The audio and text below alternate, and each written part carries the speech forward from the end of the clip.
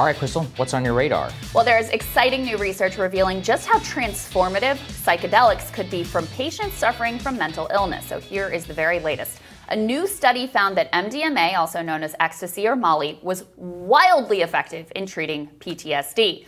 What's more, the drug seemed not just to ameliorate the symptoms of PTSD for those who are suffering from it, it actually seemed to get at the root causes, helping survivors of trauma to address and heal psychological wounds, easing their torment.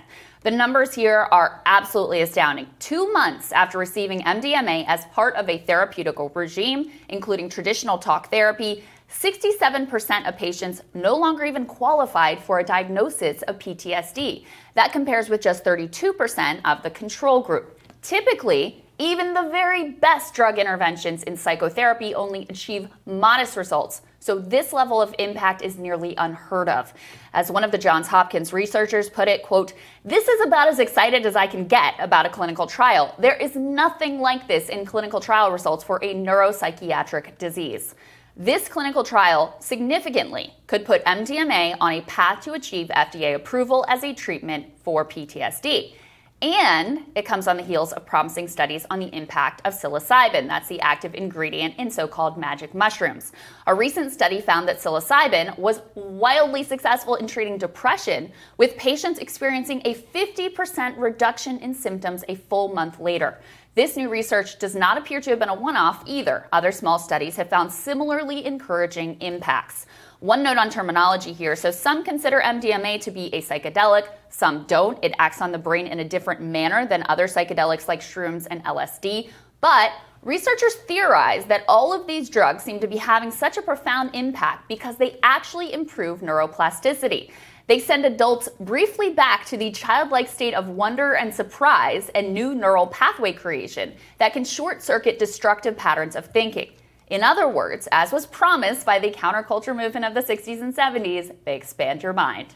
This research has been a long time in the making. In fact, while it is being heralded as groundbreaking, and certainly it is, the truth is, it represents more of a rediscovery of previously known benefits which had been erased and suppressed by a campaign of moral panic that led to the complete ban of these substances.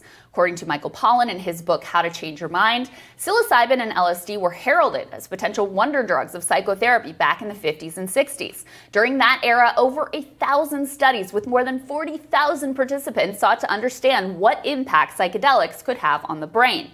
Research was so widespread and so mainstream that in 1966, CBS produced an hour long special on research that was happening in Spring Grove, Maryland, in which LSD was administered to mental health inpatients. This research was sponsored by the federal government and it went on for more than a decade. LSD Day in Cottage 13, a building on the grounds of Spring Grove Hospital. The tablets in Ott's hand each contain a microscopic trace of LSD.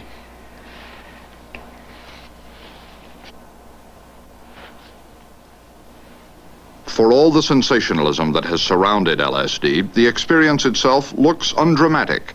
The drama is internal.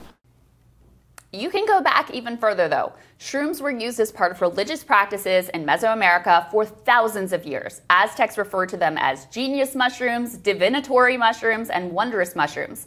This use was erased and, in fact, criminalized by Spanish colonialists and missionaries who felt that shrooms encouraged paganism and communication with demons. Nevertheless, religious and sacred use quietly persisted with the drug and its impact rediscovered by white people in the 1950s. Psychedelics' association with the counterculture movement, however, doomed them for legal use for decades. Soon, the media moved from covering the promising research to amplifying complete falsehoods, like the idea that these drugs could mix up your chromosomes, they fixated on bad trips, and they scaremongered about psychotic breaks. As for MDMA, it was first invented by the drug company Merck in 1912, but it fell out of knowledge until the mid 70s. Then, a psychedelic chemist tried it on himself and shared it with a psychotherapist who thought it could advance therapeutic benefits. The promising results started to flow in, but once MDMA was adopted as a club drug integral to the rave scene, moral panic again ensued and it too was criminalized and research suppressed. In the past 15 years, however, psychedelics have started to get a new life in the scientific community thanks to a groundbreaking Supreme Court decision back in 2006.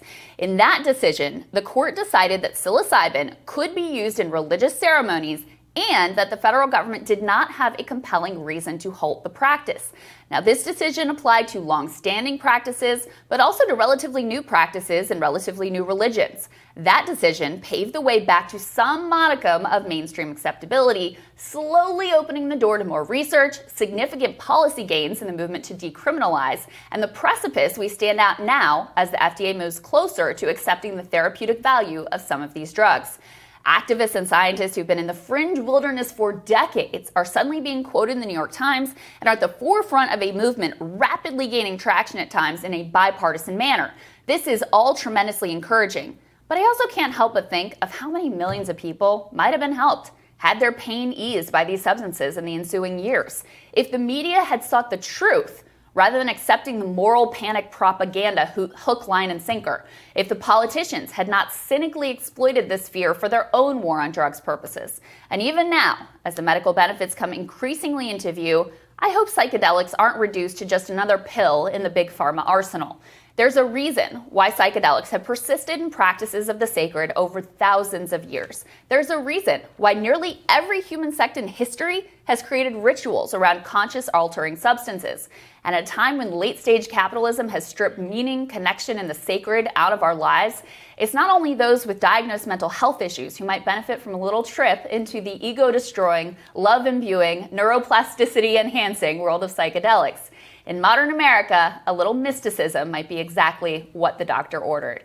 And Saagar, part of what is so fascinating to me is that we actually knew all of this mm-hmm. like decades ago. And basically, the media, complicit with politicians, just bought into the moral panic around these drugs, didn't question it at all. And so the benefits that had been chronicled before and were known to societies over thousands of years, but actually, you know, studied and researched in the 50s and 60s, completely erased until the Supreme Court decision kind of starts to open the door again in 2006. The recent research has been really interesting. I've mostly been exposed to this via Joe Rogan and actually piqued my interest. So, what I, I think it's important for people like me who are concerned about drugs and concerned about the impact on society to differentiate because there are drugs like alcohol, cigarettes, and marijuana, which I would consider like net negatives. Now, when around regulation, whenever it comes to that, that's very important. But on psychedelics, there's not a recreational use culture around it. So treating it with the same sort of, at least even skepticism that you would on something else, doesn't really make any sense, yeah. especially whenever these are not like enhanced and chemically altered to the way that a lot of those ones are currently.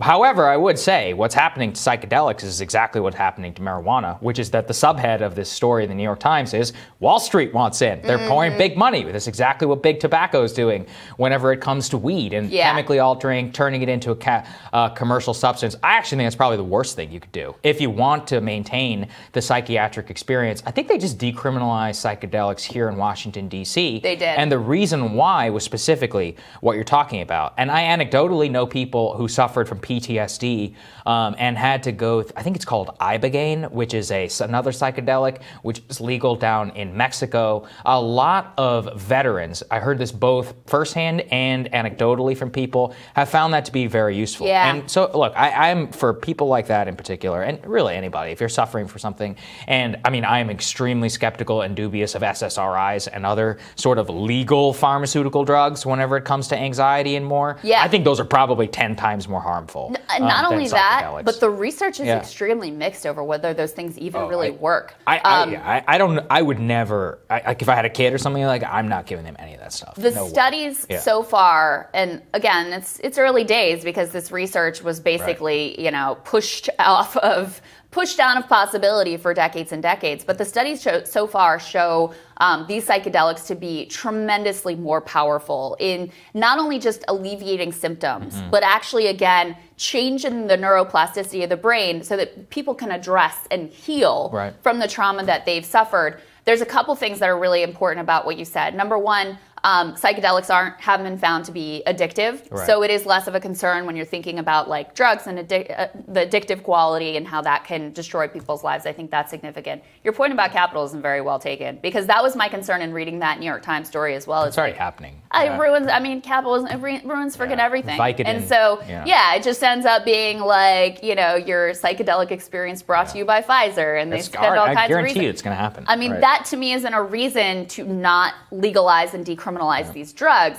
we got to figure out a way to open these markets without having literally everything ruined and destroyed by capitalism. Um, I also would say, look, just because they're not addictive doesn't mean they're not something to be like. Yeah. This is not something to be gonna say- casual about. I'm glad you said that too. It's like you shouldn't screw around. I mean, there are people who've had some really bad, well, not bad experiences, but like you don't know what you're getting into. Um, Right. And so part of what's really important is to have be take the right dose, to have the right setting, a place where you're comfortable, a place where you're going to be safe. Like none of these things are to be done casually. But I almost think one of the most interesting parts about this is just the way that this was all completely erased for so many decades um, and is now just being rediscovered. And I also think it's really interesting the dynamic that our commitment to religious freedom actually played in the Supreme Court, opening the door back to this research. So, um, hard to understate what a sea change this is and the way that people have been thinking about psychedelics. And obviously, you see places like DC and other states around the country starting to exper- experiment with decriminalization. Even Rick Perry down in Texas Yeah, said he wanted right. to study the impacts of psilocybin. So there's a little bit of a bipartisan impetus around this um, as well. So it's pretty dramatic the change in thinking and approach to these drugs just over the past few years. Yeah, I haven't read a lot about it, but I do encourage people. There was an episode with Joe Rogan with a guy named Brian Muraresku. He wrote a book called The Immortality Key around the role of psychedelics in early Christianity. And there was another one, I'm forgetting his name. He's a vice journalist who experienced horrific PTSD. And he went through some of the legally uh, FDA approved MDMA treatments and had some interesting experiences. So they were both on Rogan's podcast. Check it out. Yeah, absolutely. And Michael Yeah. Pollan's book, How to Change Your Mind, was Yeah. a tremendous resource for me in writing this radar as well. All right, Saagar, looking forward to your radar. That's next.